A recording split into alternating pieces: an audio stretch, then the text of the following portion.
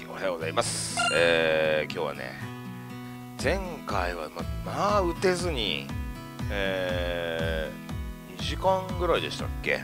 このシグマ鏡原店さんで、えー、剣をしましたけど剣というかダベリとしりとりをしましたけど今回ちゃんと朝から取れました。取った機種はディスカップでございます。ディスカップです。あのほぼ並ばずとも取れた感じでしたね。また今日もね花火通はね朝から満台でしたよ、うん、でまあ H がねあるかどうかっていうのはちょっと後ろで見てる感じまだ分かんなかったですけど、うん、まあでもねやっぱり H が1回ああやって入っちゃうと、まあ、朝やっぱああいう風にねま、えー、っすぐに埋まるなと。今日もねあのー、H チェックだけして自分の台がね仮に取れてなかったらディスカップっていう流れでもいいかなと思ったんですけどまあ今日はもう朝からディスクアップにしました。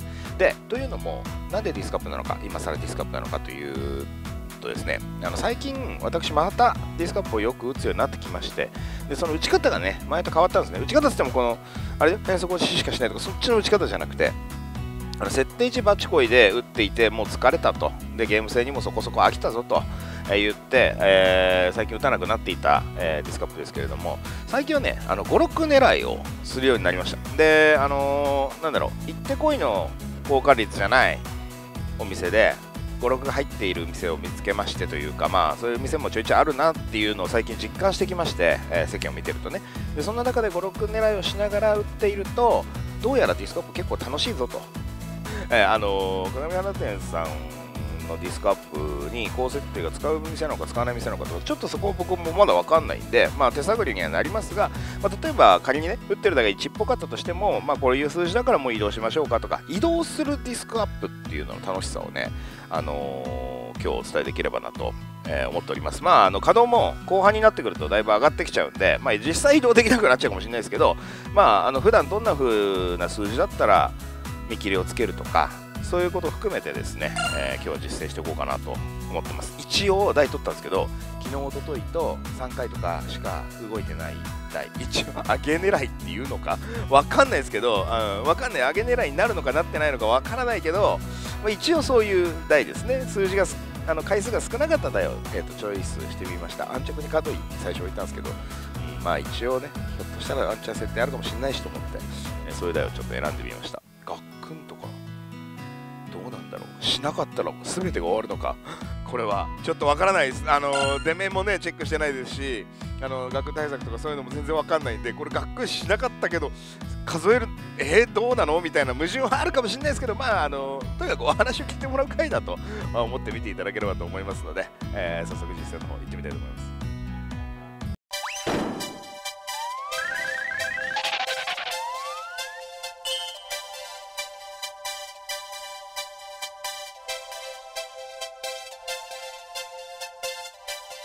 はいそれでは、えー、2日酔いのディスカップ行ってみたいと思います。違うね。タイトルが間違えちゃった。2日酔いのじゃなくてあの設定推測をしながら打つディスクアップを、えー、頑張ってみたいと思います。1で聞こえるかな？返しつけてから2にしていいですか？はい。2の方がいいかもしれない。2の方がいい。はい。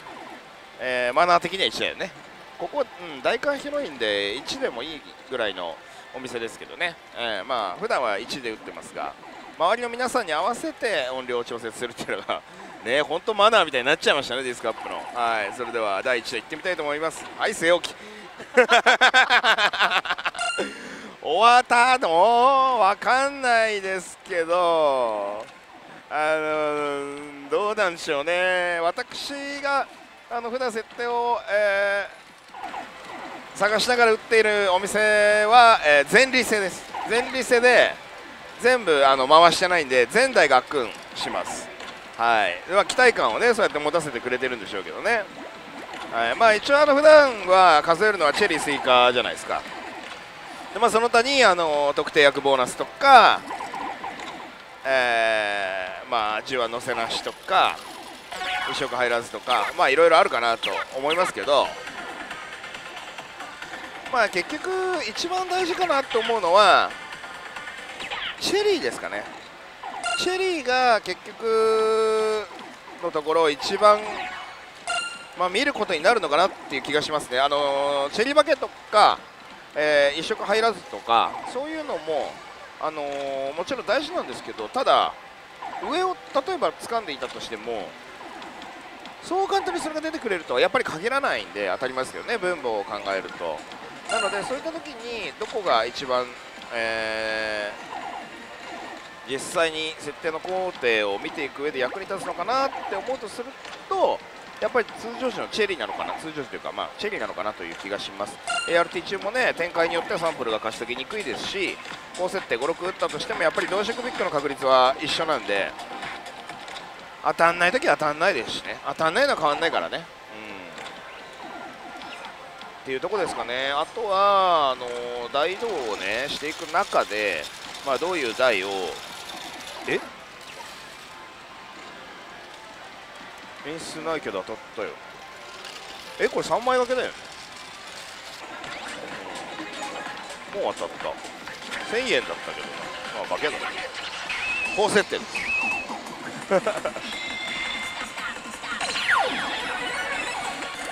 あそうだそうだ。あの大移動していく中でどんな台を選んでいくかっていう時は、まあ、もちろんね周り見てチェリーバケが出てるなとかそういうのが目に入ればそういう台移動すればいいんですけどそうじゃない時に、えー、移動する方法としてはあれかな。やっぱり単純にレギュラーが多い台とかそういうのでいいんじゃないかなって気がしますね。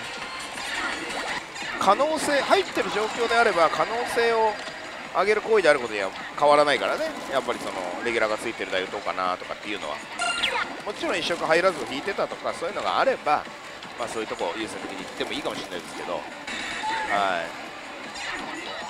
で実際どうなんだろう？どのぐらいで、えー、見切るかっていうその明確なあの判断基準っていうのはないですけどやっぱり極端に小役が悪かったりしてる場合は結構さっさと移動してますね。はい。移動するのもまた楽しさの一つになってるんでで、あのー、なかなかやっぱりその入ってる台数の問題もあってたどり着けない時はたどり着けないですけどなかなかねあんまり捨てることはないようなイメージもあります。チェリー見て、えー、スイカ見てすげえ悪いなこの台ってなってる時に移動して捨てちゃう率も意外と少ないような気がしてます。ただ最終的にあのおそらく何台入ってるだろうなっていう台数だけ高設定が見えないで終わることはあるんでやっぱりそこそこ分かりにくい機種だと思いますけどね。ただ見切りはそんなにつけにくい機種だとは思わないですかね。はい。でやって打ってるうちにまたディスクアップがちょっと楽しくなってきたのは当たんない時ってやめたくなるじゃないですか結構この台も。別に全部1で打ってるとしても。でどれ打っても一緒だって理屈的に言えばそうだったりするんだけど。でもとはいえやめたくなるじゃないですか。そういうのあるじゃないですかやっぱ。俺ら当たんねえからやめて移動したいなって思うじゃないですか。それを設定を狙うことによって地でいけるんですよね。やめていい。まあ500よかったらやめないけど。はい。シェリー出ねえよ大事だって言ってんのに。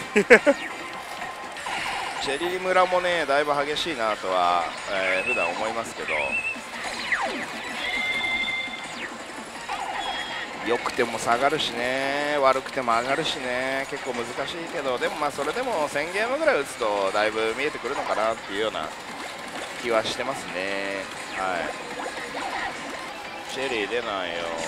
チェリーだけは信用しないぜってやっぱもうねあのディスクアップ打つ人たちのセリフの一つではあるけれどもあの高設定狙って打ってる時はチェリーバケ大事ですからだいぶ大事だよ。なんだかんだ言って入ってるって分かってれば。うん1回出たぐらいでどうこう思わないけどでも1回出たらおって思えるんだよ高セット入ってると。うん。あいつかとかってなるんだよね。特に ART 中とかそういうなんか割と分かりやすい状況だとこうそれが目に見えたりするんで。高設定探しも延々やってるとキリがないんでそのもうあれ1台決まっちゃったかなみたいな時は割と3台目ぐらいでもう積もれてなかったら帰るか、えー、持ちコインがあれば持ちコインの範囲内は続行したりとかっていう感じにしてますかね普段はね。まあいかんせん10日じゃないところで打つのでそうなるとできる限り持ちコインがあるうちは本当は打った方がいいんですけどただまああの帰りたい時はま帰るなら初チェリーが8点初チェリーが8点挟もうと思ったのに右を右をしちゃったよ。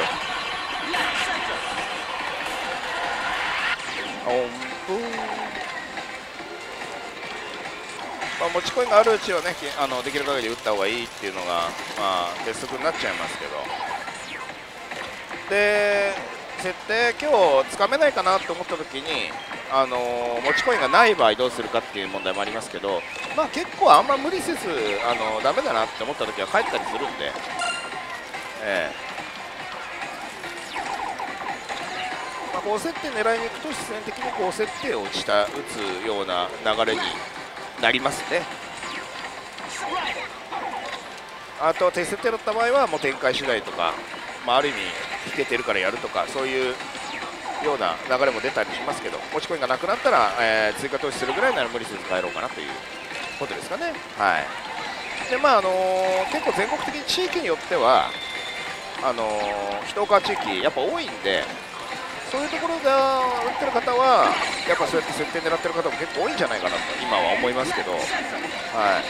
まあ、僕が狙ってるやり方が全然参考になるかどうかっていうのはまあ別として設定を狙うディスカップが結構面白いなっていうことを最近思ってるんで、まあ、それを今日はね、えー、やっていこうかなと思うんですけど。111ゲームましてチェリー2回ですよ。大丈夫かよ。大丈夫じゃないんだよきっと。きっと大丈夫じゃない。でもどうしよう。だんだん移動できなくなってきちゃうね。でしかも移動した先が1ゲームも回ってなくてまたスルッと回った瞬間に終わってしまうから。ディスクアップはあと朝一台が3台残ってます3台。いやまだいいでしょ。まだいいでしょって変だけどさあレギュラー引いたけど飲まれましたよ。高設定が入ってるかもしれないこのお店はっていうのって。正直判断つけるの難しいんですよね外側から見てると。だから結局自分で打たなきゃ分かんないですよね。今日なんでこんな動きするんだろうみたいな第一射目を巡り合わないとそのお店のことを疑えないというかあ入ってるかもしれないっていうね、えー。ちなみにあのパチスロ必勝ガイドだったかうちの自信室だったか忘れましたけどに載っていたシミュレートをこの間本でペラペラ見てたら何ゲーム回した時か分かんないけど10日の設定1よりも5.6枚の設定2の方が期待収支高かったよ、うん、だからあの抵抗管理するって人もまあ2入れてるかどうかっていうのはさすがに微妙だけどじゃあ仮に平均設定があの高設定が入ってないとあの10日以外で打つ意味はもちろんないんであの高設定が入ってる店で平均設定が2に近いぐらいで打てるんであればね。あれじゃない？あの5.6枚の方がいいんじゃない？っていう話にもなるよね。なりますね。なるなる。もうすぐチェリー100分の1ぐらいになります、ね、いやいやおかしいよね。やっぱ白パネルはそこで出ないのか。チェリーのが一番大事ですねって一番初めに振りを出したのにそこをこういうことしてくるってことはこの台は僕に気がない。ね。読んでる。だからやめろって言ってんだと思う。台が。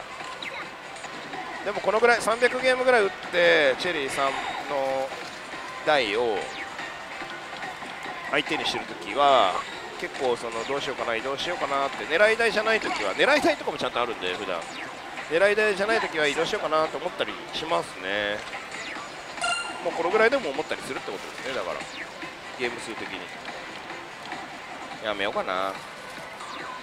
67でやめてるのは何なんですかね。なんか分かんない、うん、チェリーゼロだったんじゃない？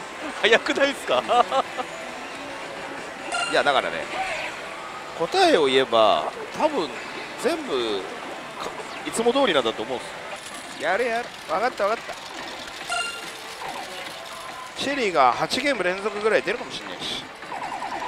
いやー分かったもんだからね。その僕はやっぱりその長年パチスロってる中で設定高設定を打つことが多分一番好きなんですよね。だからディスクアップから離れで今高設定を狙うディスクアップがにまた戻ってきて楽しいと。だからあれだね。高設定を狙わないディスクアップは多分相変わらず別にもうあんまりやりたくないのかもしれないですね、なんか久しぶりに打ってきてこうああの戻ってきてディスクアップに。で結局レギュラーまでこう割とこう愛せるようになってきたらちょっと面白かったんですけどね。わあチェリーだ！チェリーです！多分200ゲームぐらい引いてなかったんじゃないかな。そうですね。そんなことある？設定いくつだとしてもそんなことはなかなかないと思うんだけど。チャじゃないよ。もう一回チャだろこれ。あ違ったこの時だよ。左リール上段にバーをビタ押ししてああそうだね。ビタ押し失敗してるよね。ビタ止まると2角だと思われます。もう1万円なくなった。ハイペースですね。やめればよかった。ってならないよ。そんなのディスカップじゃねえよ それ最近僕も気にしなくなってきましたね。いや気にしちゃダメだよこの台は、うん、気にしちゃダメ。ただでも設定ぐらいすると気にはなるちょっとは。じゃあさ昔このディスカップこの動画でも多分ね。絶対このお店で多分言ったと思うんですけどあのー今日はねあの56狙ってこうやって上げ狙いみたいなことで言ってき回数ついてないで座ってますけどあのー、1打ってた時は昨日出てた台がいいって言ったじゃないですか。ええうん、だからね、今日昨日出てないと嫌なんだよね、そのままそのままの波をそうそうそう、1だった場合、まあ1なんだろうけど、1だった場合、この昨日出てなかったやつが嫌なんですよ、もうってなっちゃう。ただ、ここはもうちょっと小役の動きを皆さんに見てもらってね、スイカがこんなになることもあるよっていうのがね、結構数えてない方も多いと思うんですけど、僕はあの本当に思うのが、高設定を狙うようになって、一つ感じるのが、低設定でもひたすらで子役を数えていたことが、すげえ役に立ってるんで。いつも低設定で数数えて子役一応数えてみてやっぱりこんなもんかみたいに毎回2000ゲームぐらい打つようになるわけですよひでえなこの数字みたいになってたやつがおやおや違うぞいつも今までのあれと違うぞみたいに今はなるんですよっていうこと積もれてないけどでもたまに積もるとなるんですよ。でディスカウントのいいところはあのー他の花火とかと違って積も率がある程度低くてもちゃんと勝負にはなるじゃないですか。それがいいよね。積もりつたまに積もるだけでもいいんだもんこの台。確かにそうですね、うんそうなのよだからその設定がある環境でついあのー換気ギャップがあるからとりあえず無駄な投資はあんまりしすぎずにあのうまいことバランスよく立ち回っていくことで勝てるんじゃないかなって思います。なんか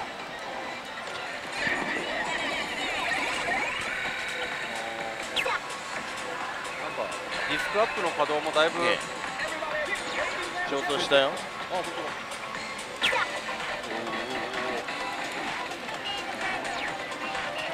青7そう。あら。外れ目だったよ。ベックです。528ゲームようやく。ごめんね話を。いいえ。ボーナスが遮って。1万5000円です。いやあ はいはいちゃんとやるよ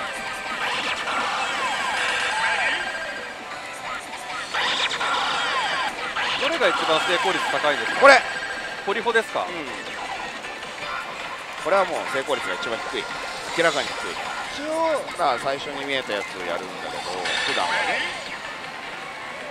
これだったら今前のゲームがオリホだったからオリホにしようかなって。今ここに青奈良があるから次は青奈良かなって。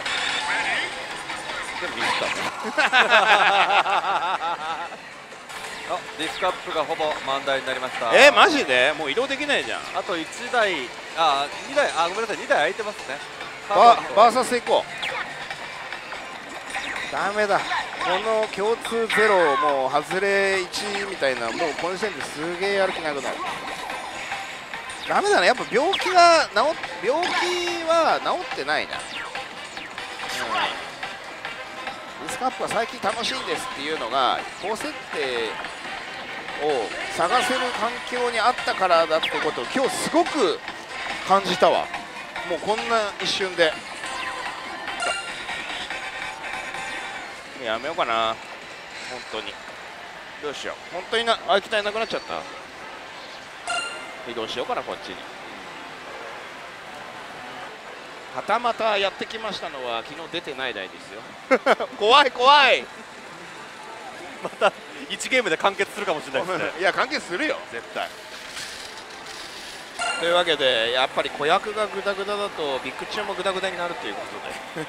まあまあそれは関係ないわ、うん、もうあの次からなるべく喋んないようにやりたいなと思いますけど。まあそれはともかくちょっとあれだけ子役が悪かった中で RT 中もなんか本当に走る棒にも引っかかんないような感じになるとさすがにやめるってもので即やめです、ええ。というわけで移動しました。はいスルリ。もう。まあいいよ。子役は初めから数えられる喜びを。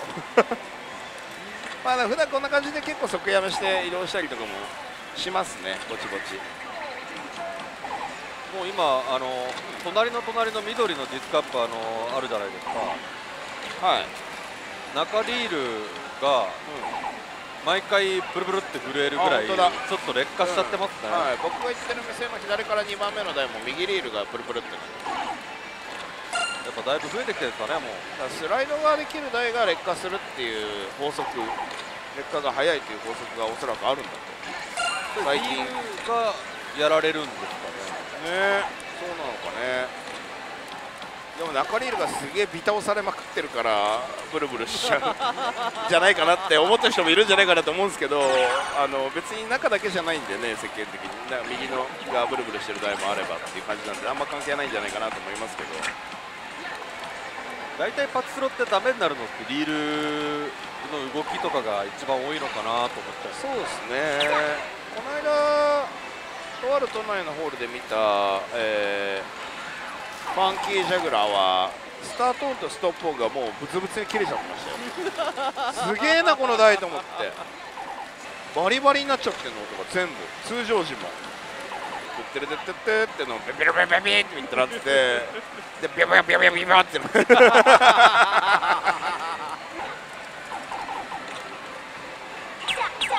当たったよえい181ゲーム持ちコインギリギリで耐えましたよ。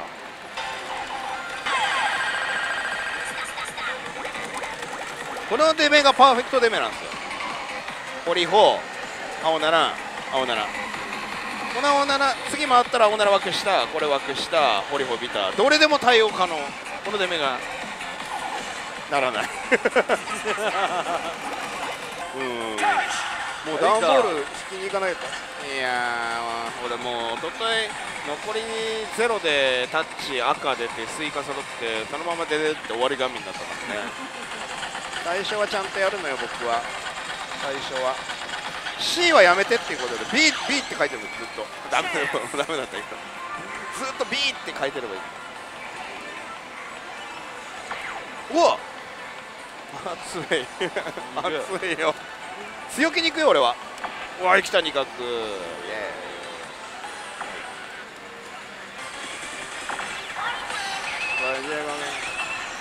はい。結局当たってれば元気になるやつこんなもん。っすよ57ゲームすっげえ回数乗ったけどごたった57でしたはい。スタンバイが5でえー、っと60だからあと20ある。もじゃこ出てこなければ100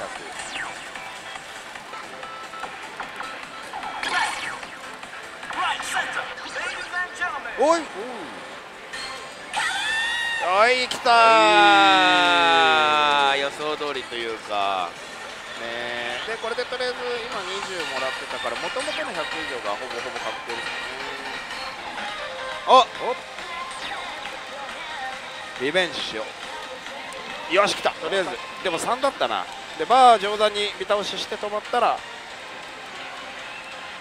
いや寒いめちゃめちゃ寒い。お当たった。よかったよ。お。イエーイ。192で残り37でしたね。よかった。これ1回引ければまあもう報われた感じするわ。波風やめたの？いやお残り2ゲームで。頼むよ。ああゲゲだった。珍しいの出たね。じゃあ最後まで見ましょうか。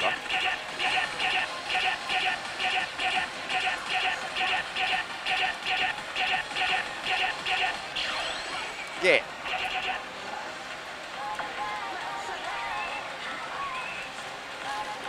ほらこれでビタ止まりで2角って言ったやつが出ましたね、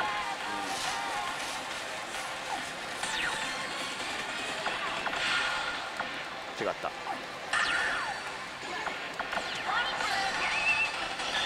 おい。残り2でハイパーしましたね。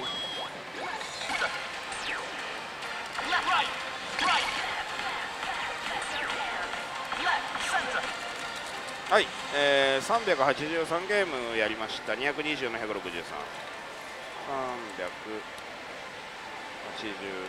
ゲーム。ですね。で1157枚と。383分の34外れ。これ良くないですね。383分の23、えーこちら共通。これはいいですね。はい。いが1個。悪いが1個。でチェリーが560ゲームで22回なんでえー、っと34 12チェリーもあんま良くないが1個。でスイカは564ゲームで10回しか出てないんであんま良くない方ですね。悪い3個いい1個じゃないですか。でやっぱ上打ってる時ってこうかやっぱこうに結構なるんですよ。ただまだ560ゲームなんでなんとも言えないですけど1000ゲームぐらい打ってていい方が3つぐらいあるパターンになることが僕の経験上では多いような気がしますね。はい。というわけでまあ引き続きやります。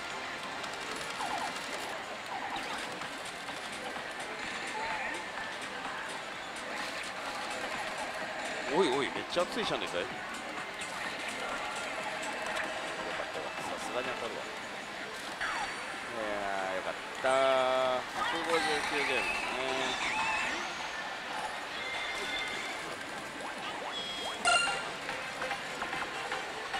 97出ましたね450ジャストで、えー、41の31、えー共通はだいぶいいですけど外れは悪いですねはい、で今737ゲームでチェリー30回、まあぼちぼちですね。でスイカが15回ですね。50分の1よりちょっといいぐらいか。これで2対2ぐらいになってるかね。はい。じゃあ後半はこの後ちょっと休憩いただきますけど後半は2対2状態からどっちに転んでいくかという流れになるかなと思いますよ。はい。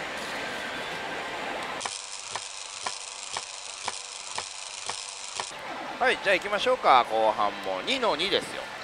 言い悪い2の2から。いきたいと思いますそうだなよ。いや、でも設定、あ、そうそう、この話もし忘れてたけど、設定狙ってるときは、チェリーのときは、ちゃんとあのあれだよ、スチャバとゲチェナは一応狙った方がいいけどね。適当なそう。熱いじゃん。ね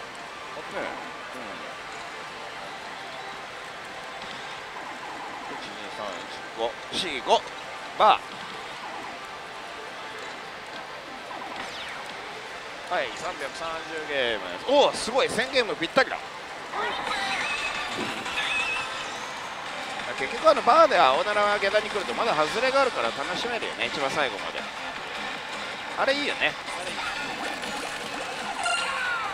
いいよどうぞ。はい。おおシンディ。ありがとう下手くそ救済機能発動しました。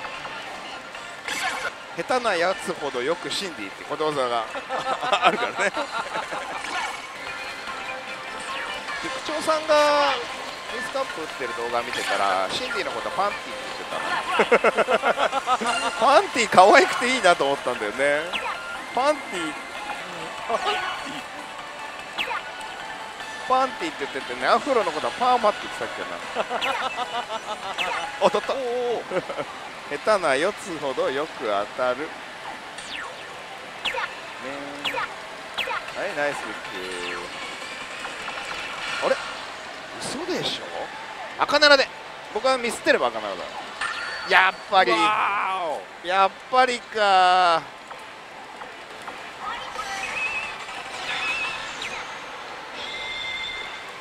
ナイイスダンスタイムこれならいいよね別にね。乗らないけど。枚数化けよりはいいもんね。化けよりはいい。化けよりはいい。化けよりちょっと偉い。100150枚偉い。最近7が揃うを見ないな。はいおしまい129ゲーム。580ゲームぐらい打って47の35ダメだなこれ。ここんなに外れ悪いかって思うわけですよ。でこんなに外れ悪いことをちゃんと家に持ち帰ろうと思うわけですよ。で次自分で打つ時に、まあ、生かしていこうかなと。ええ。思うんでね。で今思ったんだけどそこビタで止まる止まるんあえ？当たったよ。だ青七がこう揃ってるよ。青七があれ？青七がさこう枠下に向かって揃ってたのに青七っていいね。かっこいい。うん。なんだよ今日強えな俺。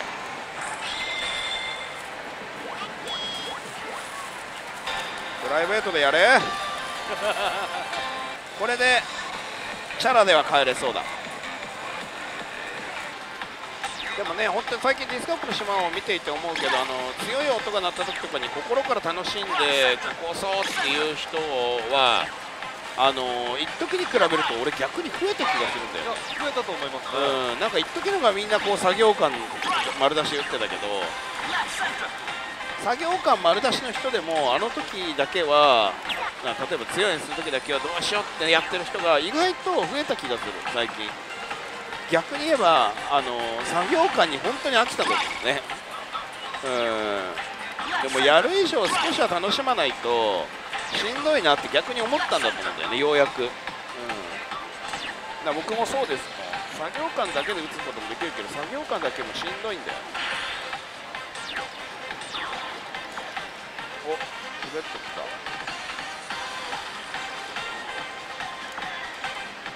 おお外れた。マジか。本当バケゼロでビッグ9っすか。はい。まあこういう人いるじゃんたまに。ねただのそういう人で。す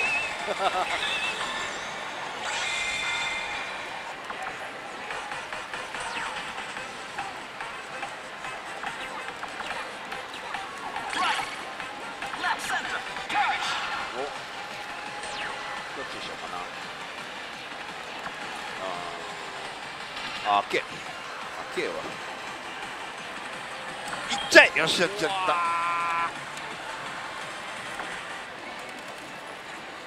追加チョークしましたよ。はいええビッグしか引かねちょっとドルボコ持ってくる。すっごい4コマ滑りだったよね今ね。追加揃ったらもうなおよしだよ。動画で打ってる時だけ当たるよ。マジで思う。これは本当に。え気が紛れてる方がいいんですかね。どうなんだろう。俺ね他の台もあの大体そうなんだけど、あの普段の方が全然勝てないんだけどでも動画だけ特にすごいのがディスカップ。俺どうディスカップでいっぱい負けてる動画とかあんまないんじゃないかな。だからこういう風になってる時にこの後全ノーマルする絵だよね。多分みんなが見たいのは、うん、だと思うんだよね。全ノーマルさせに行くか。ビッグ感2000ハマりそうました。そうよっしゃーみたいな。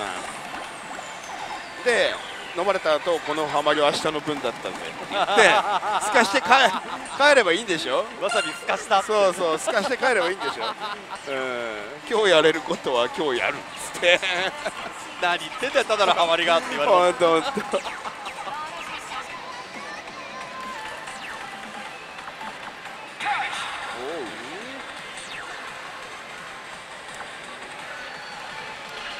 んとおうあすけ。えうわ滑ってきた。スイカじゃねえの。基本4コマ滑ったらスイカ揃うんですよ。一応赤なんですけど。これ揃ってもワンチャンあるけどね。いやー揃ったか。でもさっきスイカで当たったんだぜ。2回連続スイカで当たったこと俺ないよまだ。ーいやこれスイカ重複の次のスイカも重複したことはないです。あるぞこれまだ分かんない。いやさすがに無理か。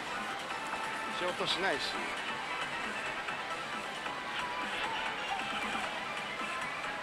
いやーダメか。ダメださすがに外した。ふう終わりました。210ゲーム。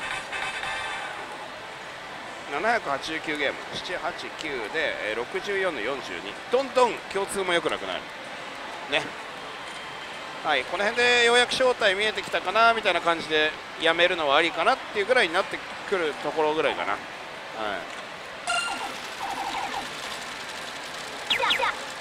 あれ。星来いビュッて。お来た。おおやめろ。わし。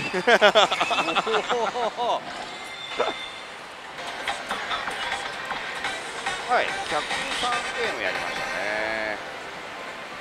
892ゲーム。まあ約900ゲームって ART 中、えー、78外れ。78回。全然足んないですね。で、えー共通が47こっちも結局悪くなっちゃいましたね。で、えー、通常時と合わせてトータル2065ゲーム打って、えーチリが78回。うんそうですね。80回だとしても弱いんでまあ弱いよね十分。で、えースイカが47回ですね。これはそこまで弱くないかなぐらい。真ん中ぐらい。でもまあいいところがないと。でまあ例えばだけど乗せずがないあったりとか、えーチェリー巻きがあったりとか移植1回あったけど、まあ、入る入んないは分からなかったしいいところはないってことで、まあ、この辺でお開きなのかなっていうような、えー普段だと思います。はい。まあ今日はね2日目はしなかったですけど。まあ朝がっくりしない時点で覚悟はしてましたけど。はい。まあまとめは後ほどということで。はい。はいというわけで実践終了でございます、えー最後にちょろちょろっと、えーハイパー含めて2連してくれたおかげで、えープラスにしっかりなれましたけれども、まあ、なかなかすごかったですね。ビッグ 12? 化け1ですか？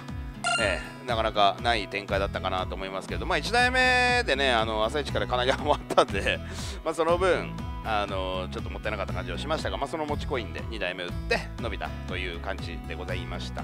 まあ展開はともかく、えー内容ですね。1台目はチェリーが果てしなく悪くて40何分の1、えーそして2台目も、えー2000ゲーム打った段階で結局全4項目中3項目ダメ。で1項目踏みとどまる程度の内容になってしまったんでまあ結局低設定だろうなという判断でございます、ね、チャチェリーバケだったり乗せずだったり移植入らずまあ移植は引きましたけど ART 中でしたからね。移植入らずとかもなく、えーという展開で終わりになりました、えーまあそうですね。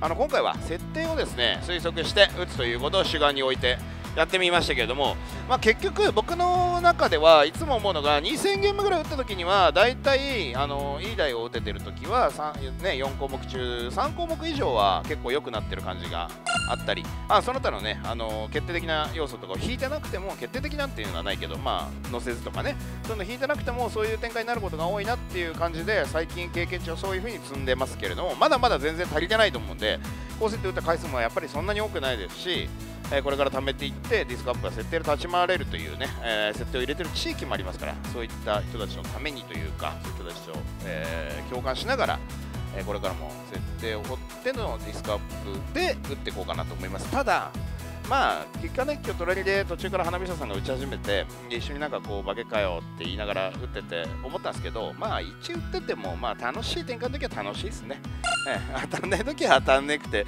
なんだよこれってなるし、うん、でまあ5役引いてないとちょっと嫌な気持ちになってしまうっていう風なのは最近のその打ち方がそうであったからもうそっち寄りになっちゃってますけれどもこっち側寄りにねなっちゃってますけどでもまあの当たってりゃそこそこ楽しいなとは思いました。はいまあどっちでもいいんですよ。設定狙って打つ地域の人は設定狙って打つし1打つ地域の人は1打つしね、どっちでもいいですけどお好きなスタイルをですね、えー選んでこれからも楽しんでいっていただければと思います。やっぱねあとディスカップはちょいちょいやっぱこの動画でもやった方がいいね。